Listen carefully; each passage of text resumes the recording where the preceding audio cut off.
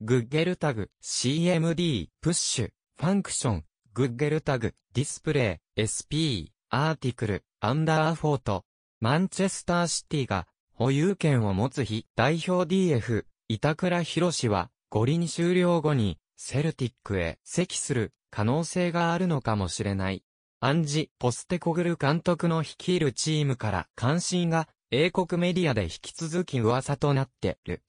今シーズンの欧州サッカーは DAZN で、いつでもどこでも簡単視聴。1ヶ月無料お試し実施中、横浜 F・マリノス前監督のポステコグルー氏が就任したことで、日本人選手や J リーグ所属選手の移籍が盛んに噂されるようになったセルティック。実際にヴィッセル神戸から FW、古橋亨梧を獲得。さらに板倉も補強候補の一人だとされてい、現在は板倉が U24 日本代表として東京五輪、東オリンピックに出場して勝ち進んでいる子もあり、移籍への具体的な動きはない模様。だ、セルティックが獲得を望んでいるという身は変わっておらず、現地紙、デイリーレコーも、五輪終了後に、獲得の可能性があると1日付、報道。ポステコグルーが獲得を実現させれば、ルティックにとって大きなプラスになるだ、うと期待を示している。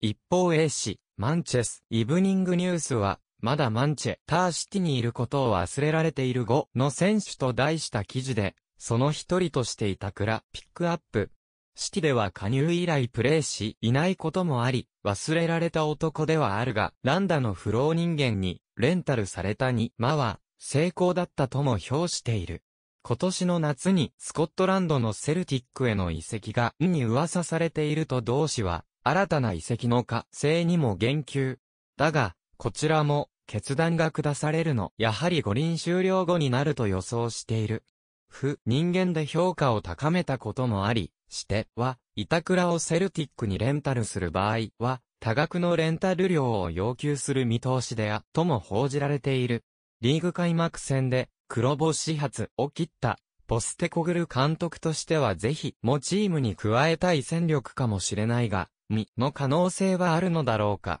りょう。